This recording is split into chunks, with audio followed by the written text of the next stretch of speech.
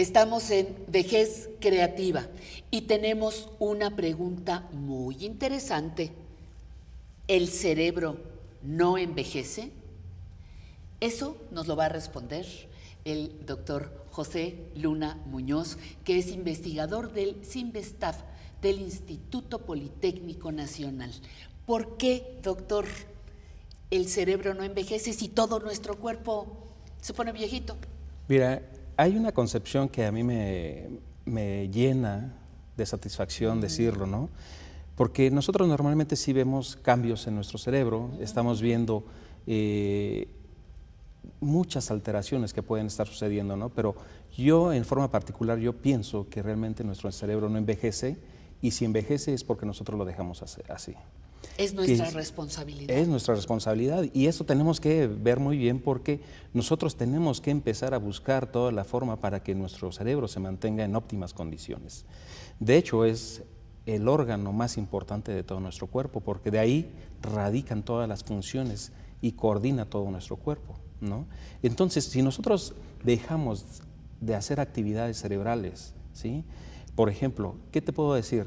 Hay un momento en el que nosotros de repente dejamos de concentrarnos. Y esto es porque realmente, por ejemplo, dejamos de leer. ¿sí? Nosotros empezamos a leer, tenemos un libro, lo empezamos a leer, pero ya dejamos mucho tiempo sin leerlo o sin leer un libro. Cuando lo retraemos, lo tomamos nuevamente en nuestras manos, empezamos a leer, esto empieza realmente, empezamos a leer, pero no leemos. ¿Por qué? Porque nuestra mente en un momento se va hacia otro evento que esté sucediendo o que estemos pensando. No tenemos la concentración. ¿sí? Eso es donde radica realmente el envejecimiento. ¿sí? Entonces es nuestra responsabilidad realmente nosotros mantener nuestro cerebro en óptimas condiciones. Pero también te puede pasar que a la hora que vuelves a tomar ese libro que dejaste mucho, muchos días sin leer, empieces a leer y no recuerdes, chispas, ¿quién era este personaje? Ay, ya no recuerdo este concepto que venía apuntado en el libro. En ese tiempo en el que yo leo y me regreso, eso es reactivar mi cerebro también. Sí, claro. De hecho, es una de las cosas, y te lo voy a, platicar este, de una forma que a mí me pasó. Eh, yo hubo un tiempo cuando estaba eh, apoyando al doctor Raúl Mena, que fue mi jefe eh, en el Simvestav, lo apoyaba prácticamente en puros experimentos y dejé un tiempo de leer. Y después me regalaron un libro, ¿sí? Y lo empecé a leer y me di cuenta precisamente de eso, que yo perdía el hilo, la secuencia de la misma lectura. Entonces lo que hice fue regresarme las páginas hasta donde yo recordaba y volver a leer. ¿No? Eso es una de las cosas que tenemos que empezar a hacer. Pero a ver, tú dejaste de leer, eh, que me imagino, novela, cuento, porque tú sigues leyendo, cuando como investigador que eres, sigues leyendo, digamos, literatura que llamaríamos técnica, ¿no? de, tu especialidad, de medicina, de célula, de biología, etcétera. Pero no dejaste de leer digo, a lo mejor dejaste de leer, pero biología, digo, este, novela o cuento. Eh, ¿El cerebro funciona diferente? Fíjate, aquí es una de las cosas donde tenemos que entender que tenemos que mantener esa creatividad, ese interés y esa concentración. Si nosotros no mantenemos estos eh, puntos es donde nos vamos a perder, ¿no? Ahora, por otro lado, también se ha dicho, por ejemplo, que el cerebro reduce su tamaño conforme va pasando la edad. y sí, sí, sí hay un cierto grado de disminución, ¿sí? Pero esto no va asociado realmente a unas pérdidas funcionales de nuestro cerebro. Y ahí es donde yo quiero enfatizar, ¿no? Que realmente esta reducción de tamaño es por muerte neuronal, pero recordemos que nuestro cerebro, cerebro tiene más de 80 mil millones de, neuronas y que estas neuronas anteriormente se sugería que realmente nosotros nacíamos con una determinada cantidad de neuronas y que se iban muriendo a lo largo de nuestra vida, ¿sí? y que cuando estábamos ya en, siendo adultos mayores, esta era una cantidad de neuronas mucho menor. Lo que es importante también ver es que hay formación de nuevas neuronas durante el desarrollo de nuestra vida. Hay dos sitios eh, neurogénicos muy importantes, que es en el hipocampo y también en el área subventricular. ¿sí?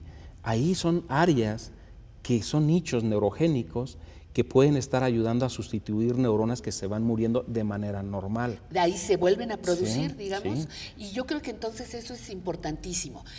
nos dices cosas muy importantes. El cerebro no envejece o no envejece a la velocidad que nosotros pensamos si lo mantenemos ocupado y estimulado, haciendo ejercicio.